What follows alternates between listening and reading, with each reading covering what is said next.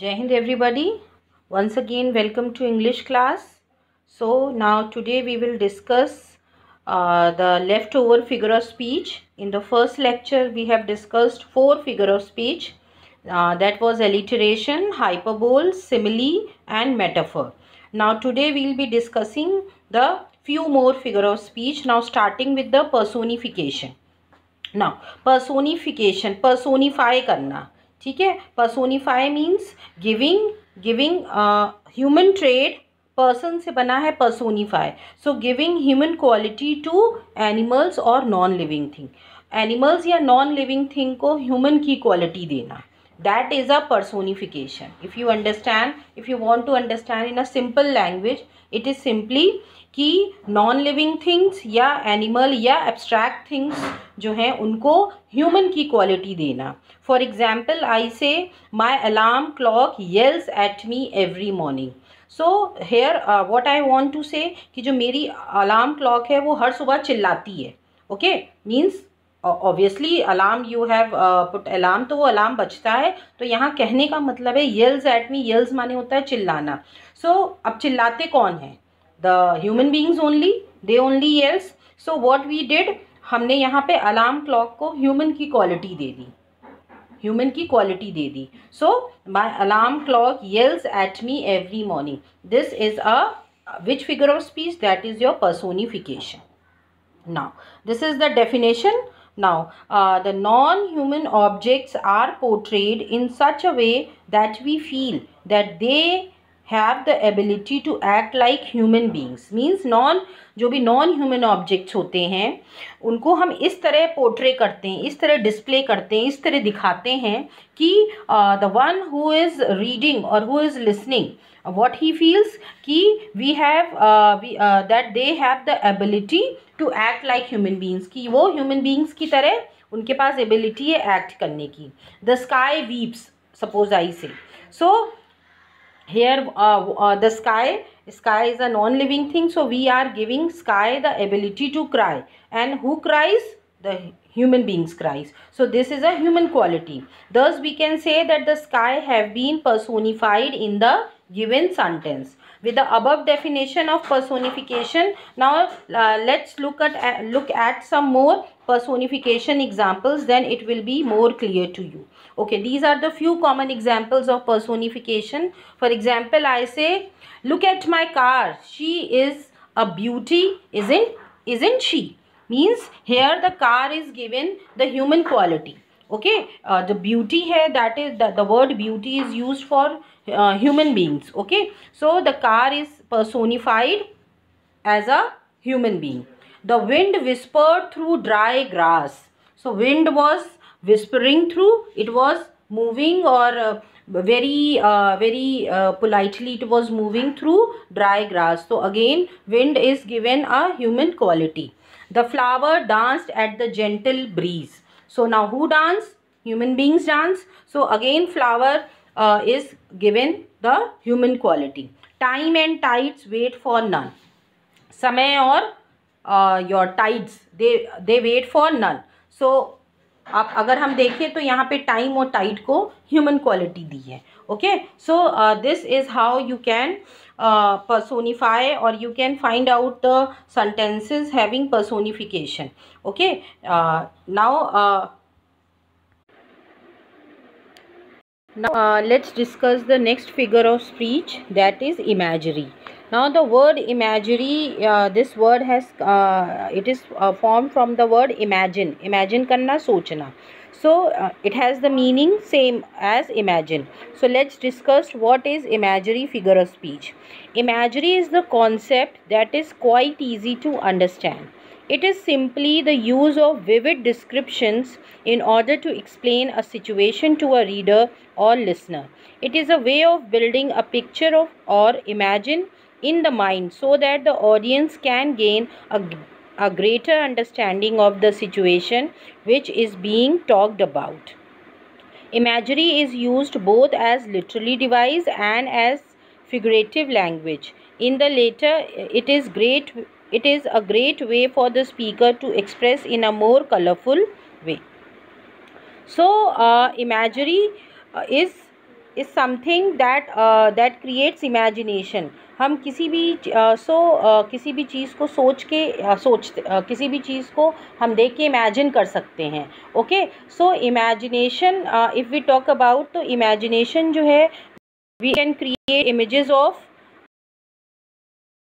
uh, how we can create through our senses so here the use of senses is very important okay so this imagery language jo hai it is used by poets by novelists also and by writers also just to create image just to create impression in the mind of the reader कि reader जो है वो पढ़ के एक image create कर ले अपने माइंड में कि ऐसा है and this creation will occur through our five senses now it includes figurative means figure को देख के इम, इमेज आ, या तो क्रिएट कर लेना metamorph meta metaphorical language to improve the reader's experience through their senses so if we don't have any actual figure of that then also we can imagine the things okay now let's talk about the types of imagery now you can see uh, like we have talked about the five senses okay, अगर five senses की बात करें तो imagery भी फिर five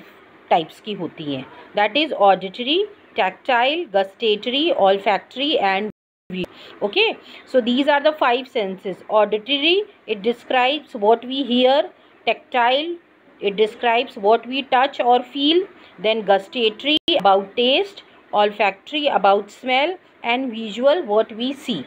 So uh, the, these all uh, create a we all things in our mind. So uh, this is also a type of figure of speech. Now let's discuss about one by one all of them. Like if you talk about the visual imagery. Now okay so uh, we'll be discussing the uh, yeah, examples also.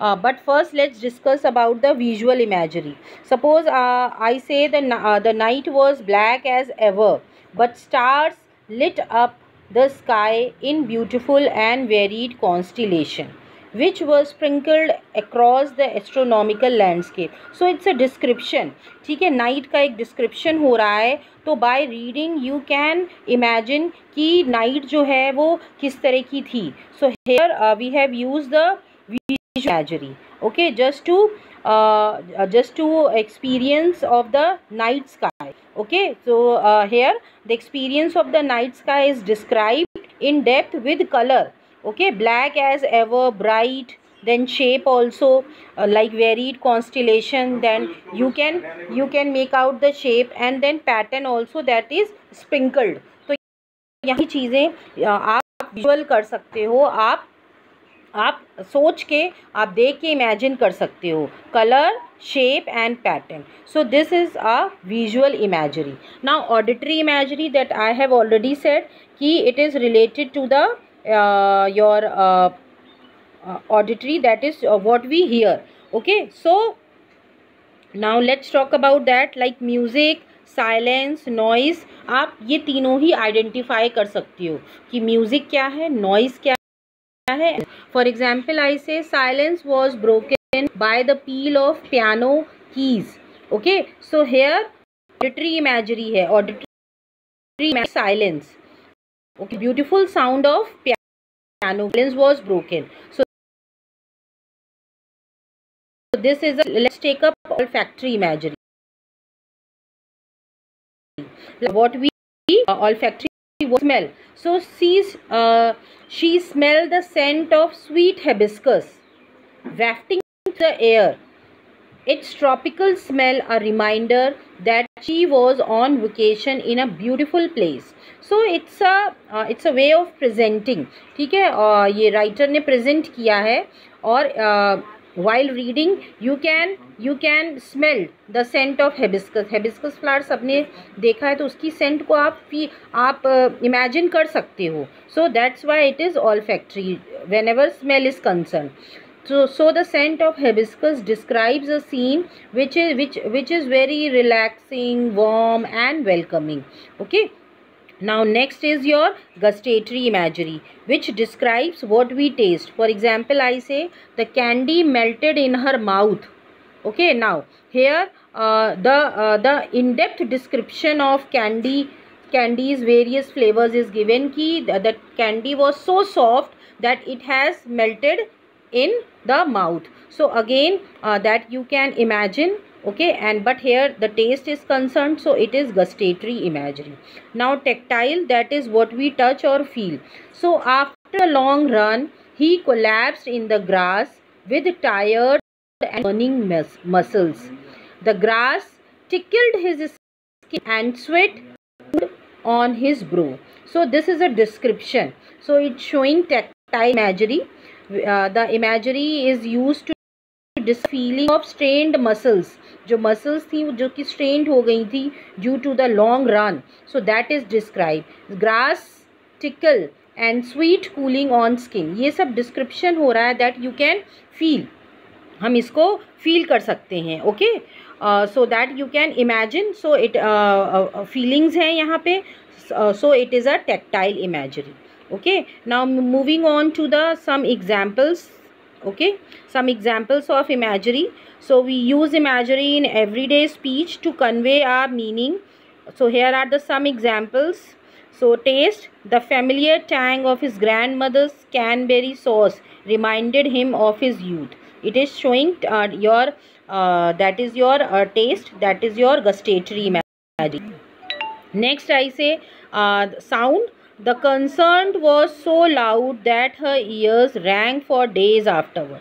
मतलब the concern was so lively, it was so good कि बहुत दिन तक वो years में बचता रहा years में उसकी वॉइस आती रही so that is again your auditory imagery sight The sunset was the most gorgeous they have ever seen. The clouds were edged with pink and gold. So here the description is given कि clouds का clouds जो थे वो किस तरह के थे okay okay, colour भी है यहाँ पे okay so here again it is a your visual imagery then smell after eating the करी his breath rect of garlic so it is showing the smell Okay उसमें स्मेल गार्लिक का smell है so that's why it is a your olfactory imagery then touch the bark tree was rough against her skin so here you can feel you can the touch is describe that is your tactile imagery okay so these are the few common examples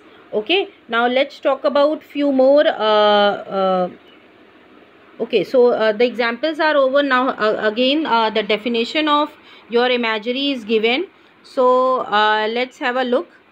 As a literary device imagery is used as a literary device. Imagery consists of descriptive language that can function as a way for the reader to better imagine the world of a piece of literature. So uh, here only the, the imagination is concerned. Okay? In uh, you can only feel you can only imagine the things okay through your senses. So that's why this imagery whenever there is a imagination through senses the imagery figure of speech is used. Okay?